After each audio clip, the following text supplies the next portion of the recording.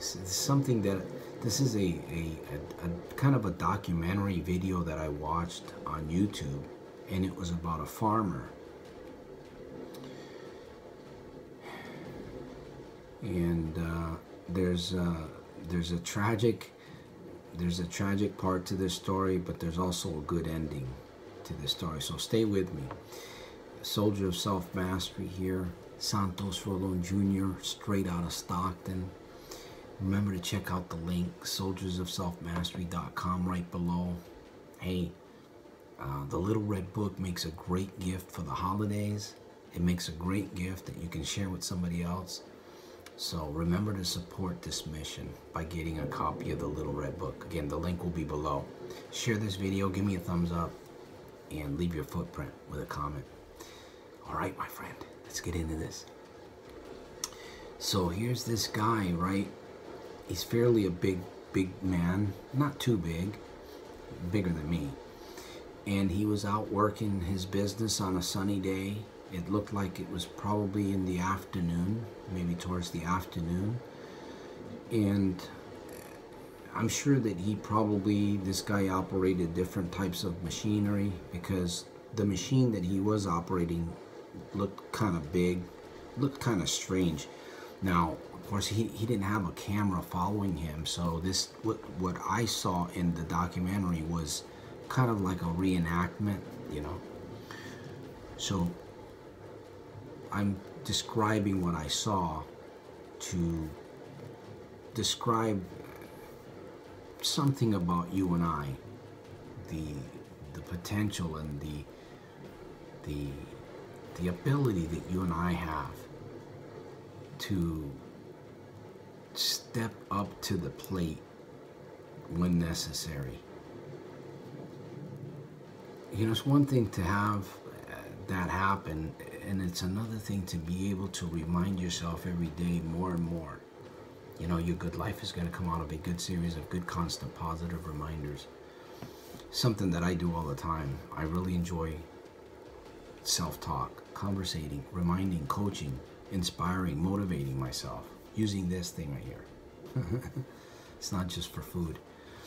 But this guy, uh, one day he was working and uh, something happened with the machinery. He, I guess he got off the machinery, stopped the machine and went to look and see what was going on.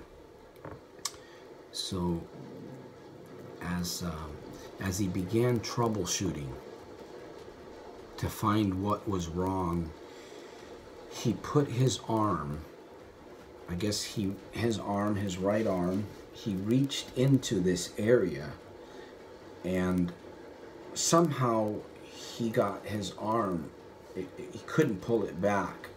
As I guess when he went to pull back, something caught his arm and here it is between these machine this this uh, I don't know exactly what they were, but I imagine they were pretty pretty uh, brutal because as he was describing what was going on, he could feel the the flesh coming off his arm. You know, his arm was going uh, either being pulled or something of that nature. All he knew was he felt his arm was gone. You know, and so he, I can imagine. Can you imagine the panic. Can you imagine the panic that you would feel if you were ever in a position like that? I mean, you get your arm caught and it's still a part of you. I mean, you enter in a, if you're not prepared for such a situation like that, if you're not prepared, now, can you be fully prepared 100%? No, you, you can't be, but you, you can be more prepared, you can be more prepared than not be prepared at all if you understand what I'm saying. Because you enter into a state of panic, a, a state of shock. In fact, you may not even feel the pain, but you know that something's wrong. I mean, can you imagine having your arm caught in some kind of a machine?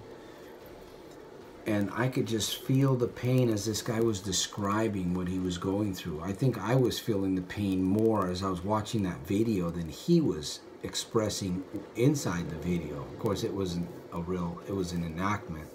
I would hate to be seeing the real thing. I'm sure it wouldn't. It, it would not be a good thing to watch. I don't think it would be. But I, as I was, as as this guy was sitting there, he knew he was going to bleed to death. He couldn't, you know, he's out in the middle of nowhere. Um, he knew that he had to do something. And uh, man, I just think about the, the that situation. To be in that situation like that. Oh, I wanted to say this that one time I was I had my finger. I mean, we're talking about an arm here, uh, an entire arm. And by the way, the, the arm the arm will come off the guy. Yeah. So I'm kind of giving it away a little bit, but eventually. So I'm already telling you, my finger. I remember one day I caught my finger in between this.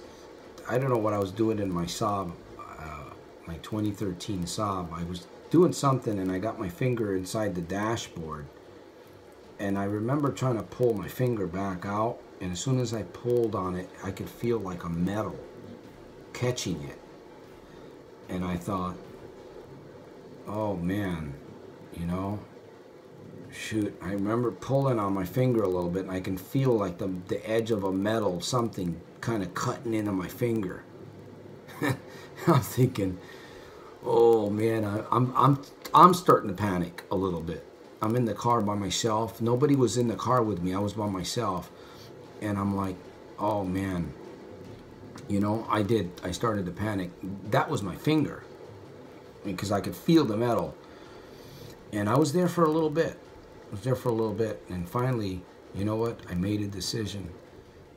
I yanked on my finger. I pulled on it. I said, you know what? I can't get my finger out. There's nothing we can do. We can't stick a plier in there or anything like that. My finger was caught between this this area, and I and I yanked it.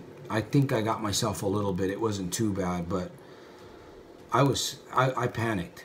I panicked because I could see what it was. It was a little metal coil inside the inside the uh, the thing in there that was hitting my finger, and I guess I pulled it fast enough where it did. I think it did scrape me, not too. I was. I don't think I was even bleeding, or maybe I was. I'm not sure. But anyways, um, can you imagine having your arm stuck in a machine like that? Well, he managed to move his body and uh, I guess he was able to get his arm somehow with part of the way that that machinery was set up and the way where his arm was, he was able to to get his arm. He was able to cut his arm off and then run for help, run for cover. Why did I share that?